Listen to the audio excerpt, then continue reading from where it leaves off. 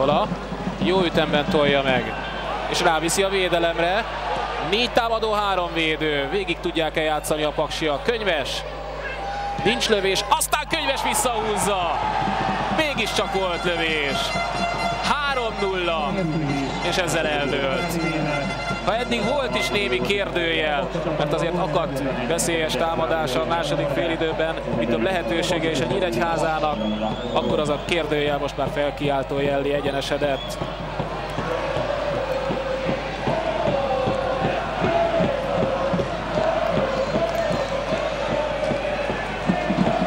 Könyves megvárta a megfelelő pillanatot, és úgy húzta vissza a labdát Jánvári mellett, vagy inkább a lábai között, hogy esélye sem volt Balognak, még mozdulni sem nagyon tudott. Közelről jött a labda rövidbe, okos gól könyvestől. Innen látjuk majd, hogy hol ment el a labda Jánvári lábai között. Kapus szempontból a lehető legborzasztóbb helyen.